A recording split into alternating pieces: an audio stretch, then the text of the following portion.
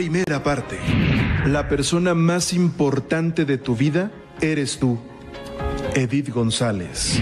Artísticamente, Edith sorprendió a todos cuando comenzó un nuevo ciclo en TV Azteca. Ya está en TV Azteca. ¿Cómo están todos? Qué honor volver aquí a la televisión azteca.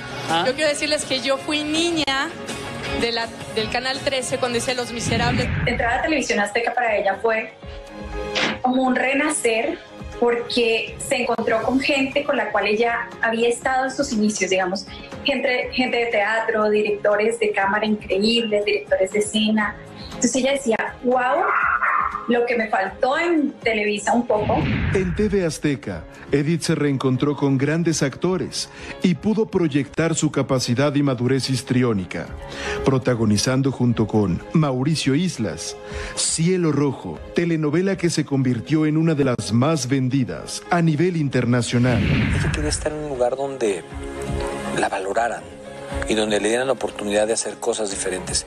Y Cielo Rojo fue una historia que nos permitió un poco eso. Más gusto verte.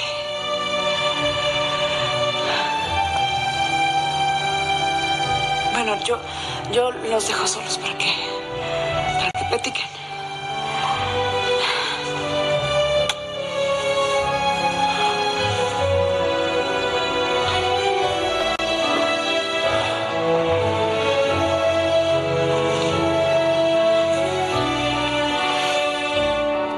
Ahí era donde empezábamos a arreglar, romper un poco el esquema de la novela clásica. Iba encaminándose a ser, a, a- a- a querer proyectar más, ya no me importa ser una niña bonita, una cara bonita.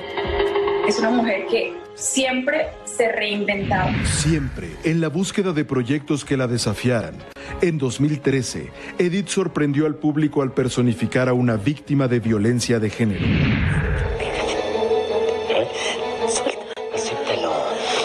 Acéptalo. Acéptalo.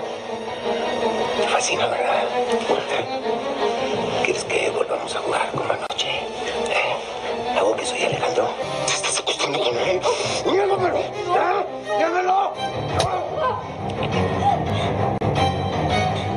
Verdad sufría lo que estaba pasando en ese momento a través de todos los diálogos y las cosas. No había apuntador, no había nada. O sea, la hicieron tan vivencial que tú se las creías. En 2016, Edith González emprendió un nuevo reto actoral al protagonizar en la cadena Telemundo la serie Eva la Trailera, personaje y concepto similar al creado por la mexicana Rosa Gloria Chagoyán. su talento, ¿no? Para, para ver más allá y tratar de buscarle otro significado a las escenas, a las cosas, a las formas de hacerlo.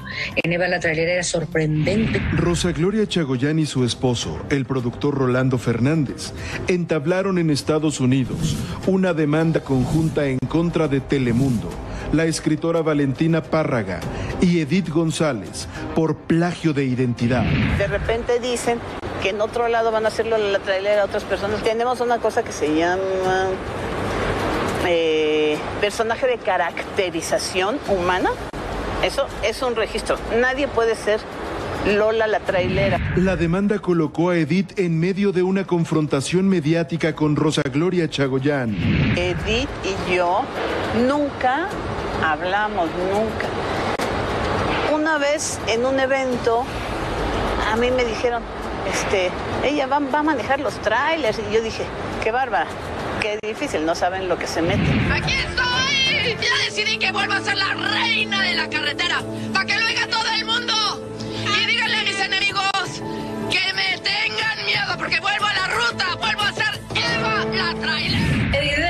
que no se enredaba en los problemas se redireccionó a la casa productora, que era Telemundo. A principios de 2019, Rosa Gloria pidió a sus abogados deslindar a Edith González de la demanda, argumentando que solo era la intérprete del personaje. Sin embargo, fue imposible, ya que la querella era conjunta. Edith terminó la serie y se dedicó a pasear con su hija, y justo al volver de un día de juegos, presentó los primeros síntomas del cáncer. La próxima semana, Se enfrenta al cáncer con una sonrisa. Esa es mi bestia, la mía. mi bestia de mil brazos. Y le tenemos que aprender a llamar por su nombre. Cáncer, sin miedo. Fue impresionante presentarse en las alfombras rojas también sin pelo, mostrando lo que son los estragos de las quimioterapias. Está parada ahí frente a nosotros dándonos una lección. El cáncer cambió muchísimo Edith González. Y yo nunca he viajado con mi hija en verano a Europa. Yo quiero llevarla y pues no por lo menos que se quede con ese recuerdo. Los médicos le dijeron ya eh, hemos llegado al límite. Seguir aquí sería pues vida artificial, ¿no? Entonces se dice es que la decisión está tomada. Empezamos una relación de la mano y se quedó dormida de la mano.